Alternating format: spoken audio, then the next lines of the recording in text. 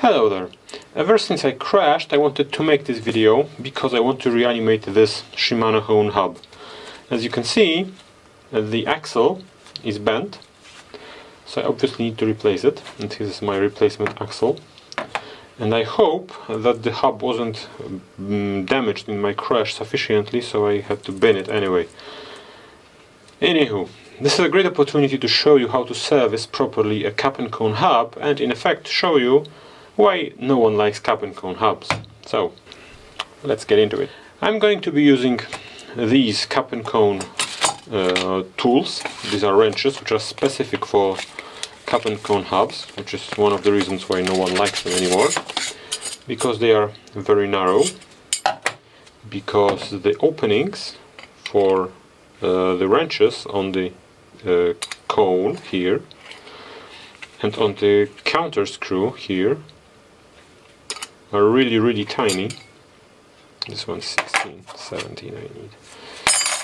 8 17 there you go. The opening for the for the wrench is very narrow and most of the cap and cone hubs have it like this for some forsaken reason. Anyway those are specialized tools which are mandatory if you want to serve as a cap and cone hub correctly now, I want to poach uh, caps and cones and everything about the axle, with the exception of the axle from this hub, because I am almost certain that these, which is some cheap Chinese stuff, are most likely inferior and might not even fit the spacing of this hub. So, let's start. I'm going to start disassembling uh, the entire axle from this end because doing it from this side is much harder. So let's start. You will quickly notice that these specialized wrenches for uh, cap and cone uh, servicing usually come with several sizes. This one is 15 and 17 millimeter because this one and on the other side is 13 and 14 and that's because this is for the front hub this is for the rear hub and this these two wrenches are fairly universal but there are other sizes out there and essentially doing this is rather annoying. So let's disassemble this. It's going to require a bit of force and I hope I can show this without using a vise And this is a counter screw, which is a very important part of the entire assembly.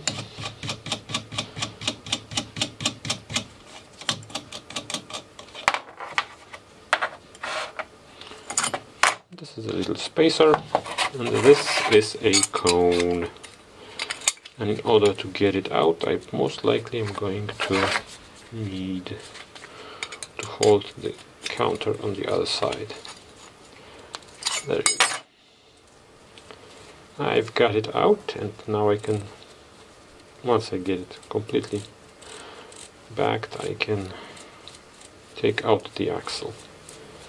Let's see if there's damage on the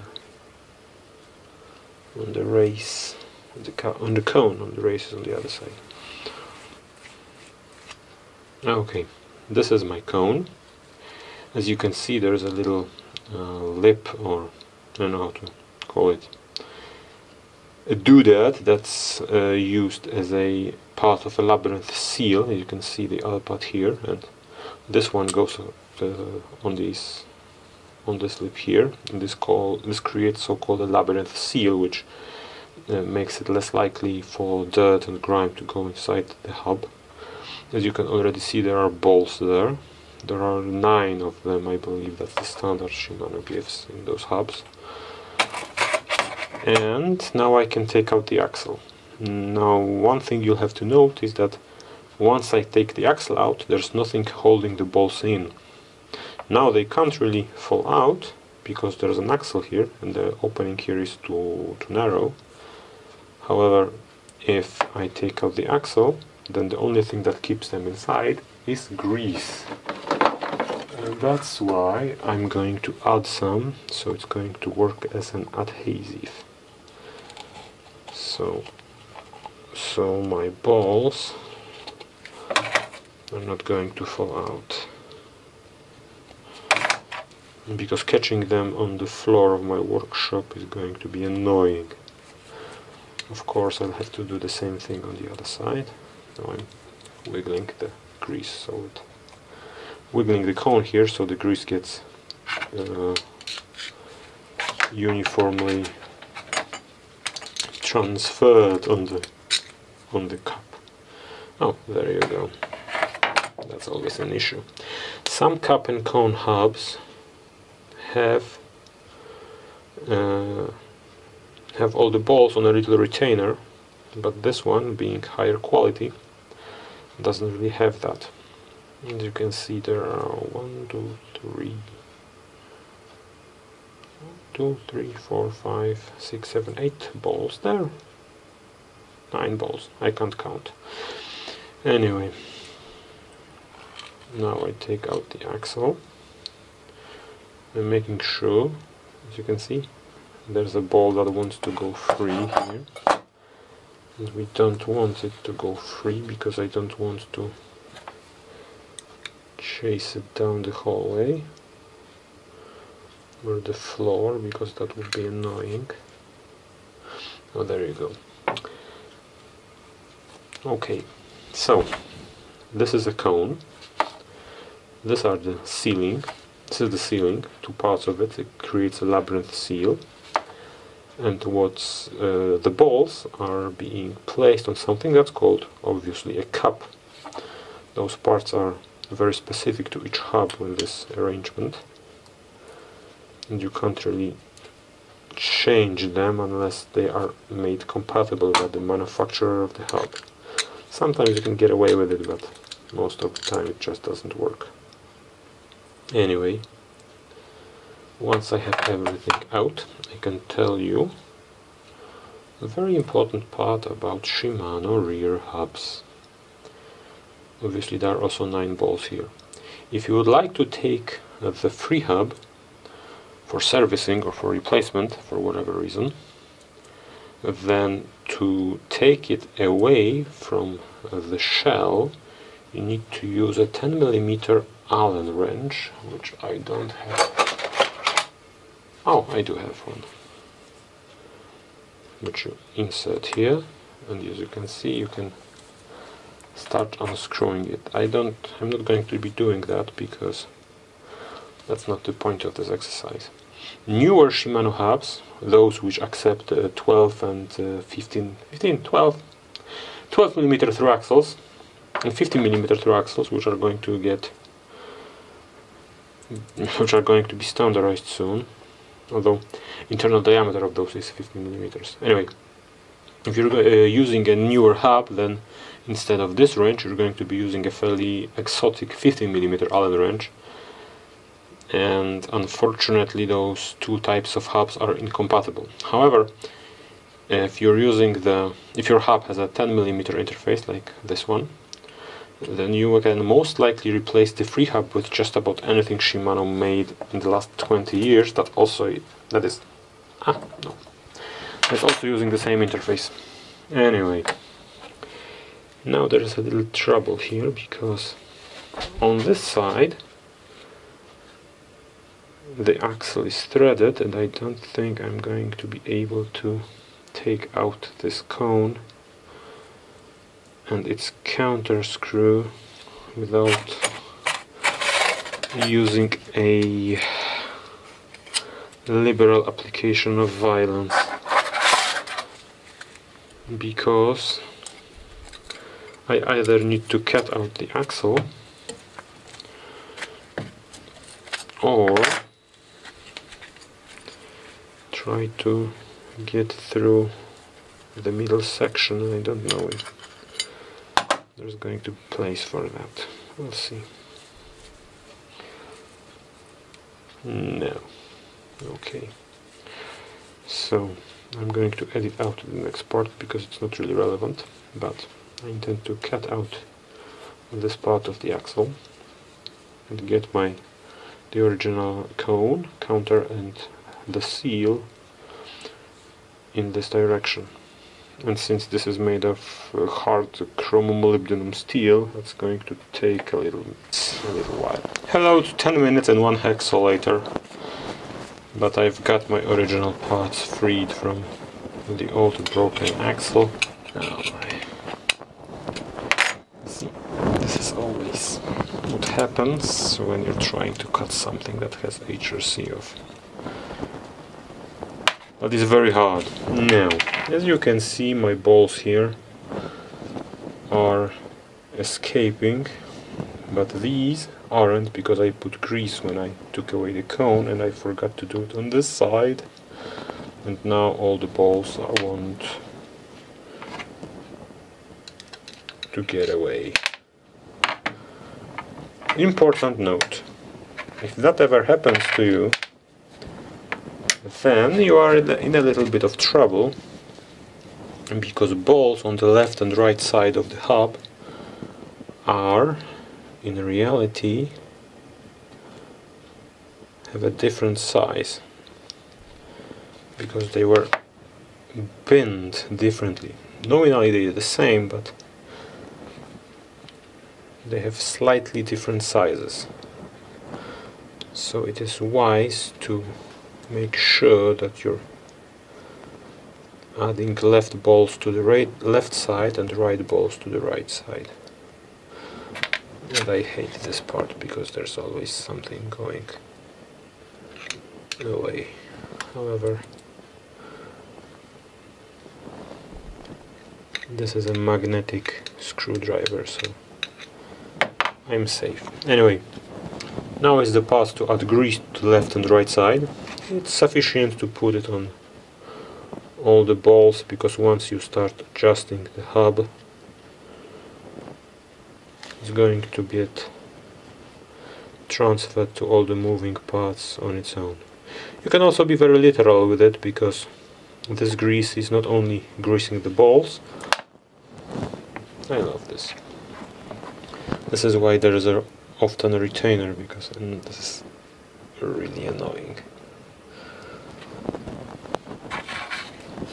not only are greasing the balls as I said before but it also has another function which is filling the hub with something else that's not water because what kills most hubs isn't actually wear or mechanical wear but contamination this is really apparent if you're dealing with cartridge hubs with servicing. The bearing itself is most likely impossible. Anyway, word of advice. There are two standards of the thread on the axle of a rear hub and they are not compatible with each other. One is a 3 eighths of an inch and the other is 10 millimeter. 10 millimeter uses 10 uh, times 1 millimeter pitch and the 3 eighths I think is a standard standard standard uh, inch thread or imperial thread now this hub uses 10 millimeter because it's a Hone uh, rear hub and it was supposed to be mated with a Hone rear derailleur. Although I just used 10, uh, 10 times 1 uh, nuts on the sides of the axle. And I like having screws on both sides instead of quick releases because it gives me a little bit of sense of safety. Anyway this is my new axle now these are the Chinese cups and uh, cones, cones actually, not cups, and counter screws. I'm not going to be using them because I trust that Shimano makes superior product. However, if you have a very old hub, you might be forced to replace the stock parts because after a while they just wear out you would see then a pitting around the the race of the of the cone or pitting on the race of the of the cup. Usually happens on the cones and thankfully they are replaceable. If it happens on the cap, then your hub is essentially toast, and you can ride it up until it destroys itself. But from certain point it's just going to get loose and loose and loose and it's, a, it's just going to stop working properly. Anyway, now I have my cone in place. I'll have to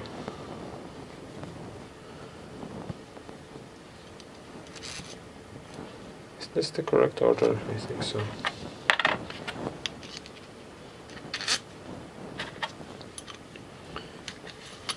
Okay.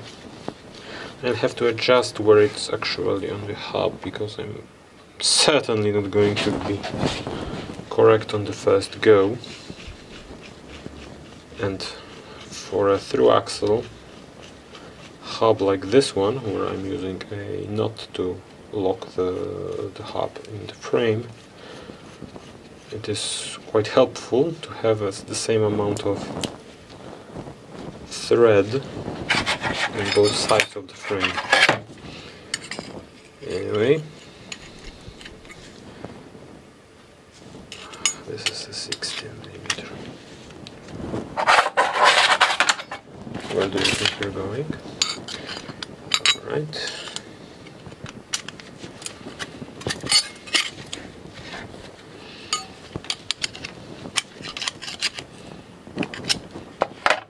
I'm not tightening this because I need to check whether, whether I have enough space for the other cone which is going to be somewhere around here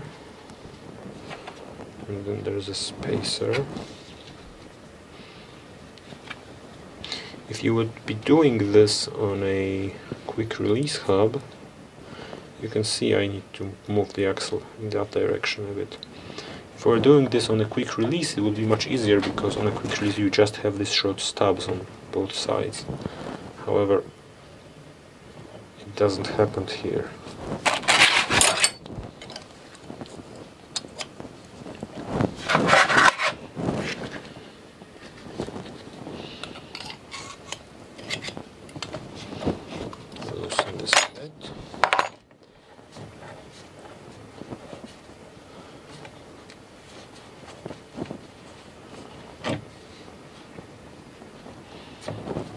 Think this is going to be fine.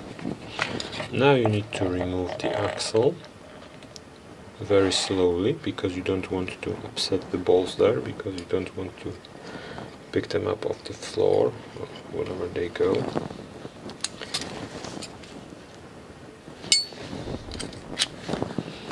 And now the important part. Cap and cone hubs are held together by cone which is countered by this counter nut on the other side.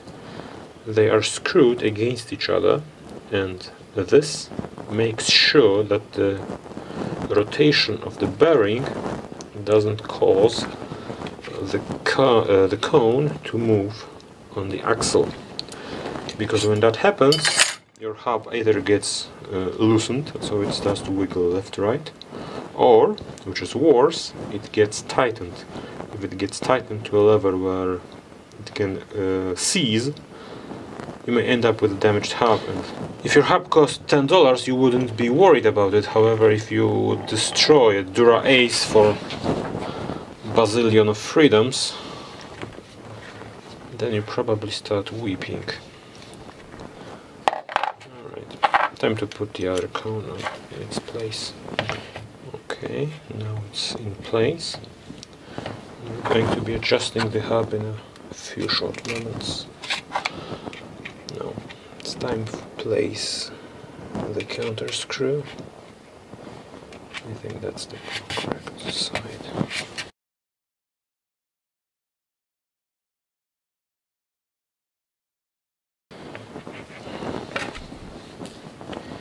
Okay.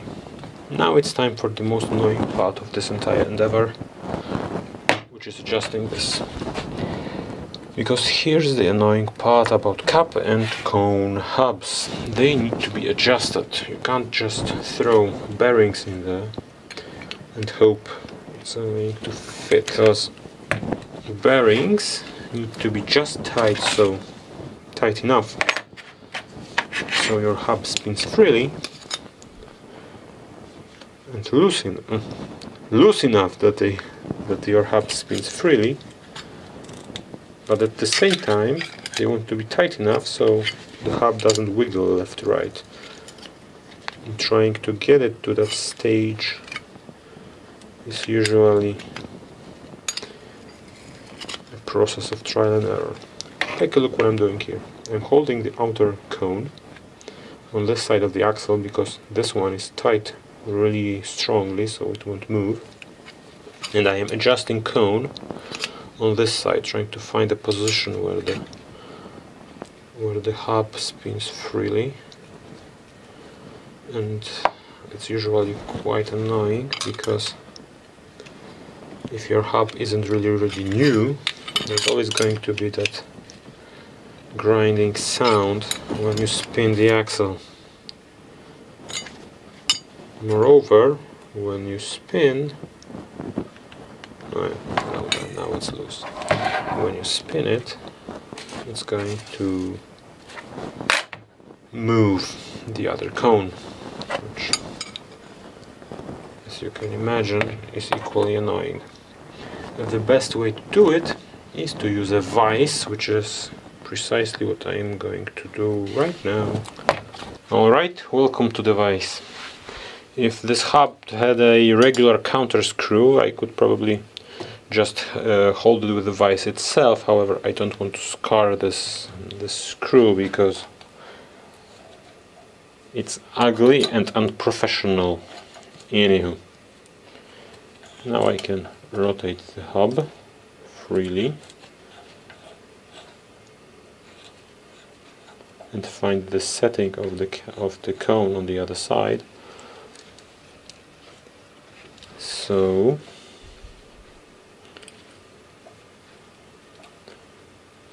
I'm not going to have any play. I usually do it by screwing it a little bit too tight and then loosening the cone while rotating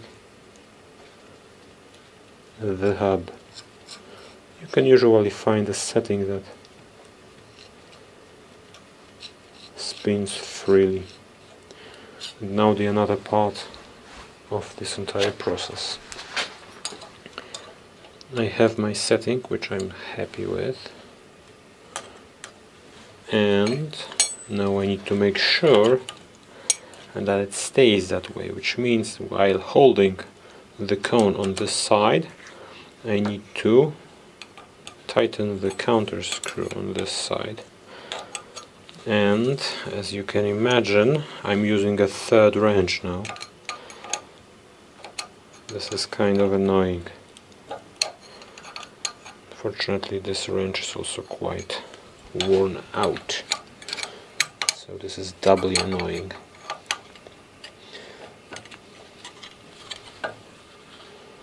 So now that I have my setting I hold the cone in place and I tighten the why do you do this to me? And I tighten the counter screw on its side. Once all counters are really secure and the hub spins freely it's too tight. That always happens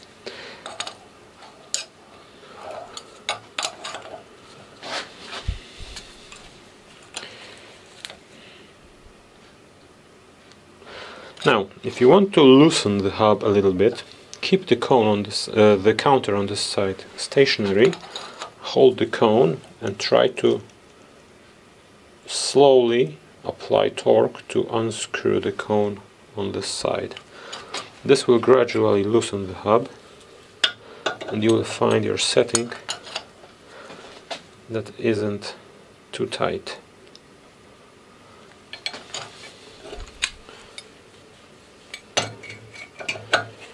And I still haven't found it.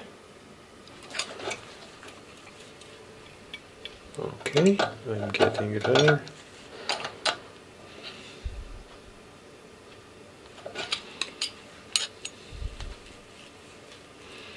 Okay, I'm there. So, once again, hold the cone on the side and tighten the counter so it holds the cone securely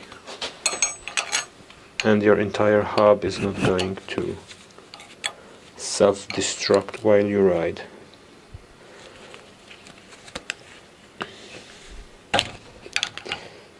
And of course you need to be professional about it and use tools that aren't older than you are.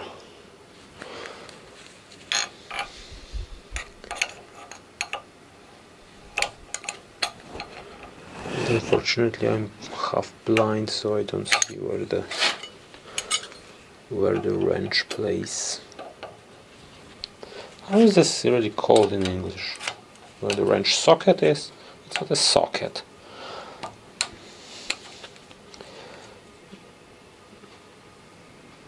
Okay. Okay. I think I'm done here. And now my hub is fully serviced and ready to be ridden for many happy miles, although knowing myself I'll probably sell it or throw it into the spare parts bin. So, in closing words, in closing words, cap and cone bearings have many advantages for bicycles because their balls are really big. They are almost always submerged in significant amount of grease and they are very easy to seal. The cool part about them is that if you service a cap and cone hub once or twice per I don't know a decade it's probably going to run just fine.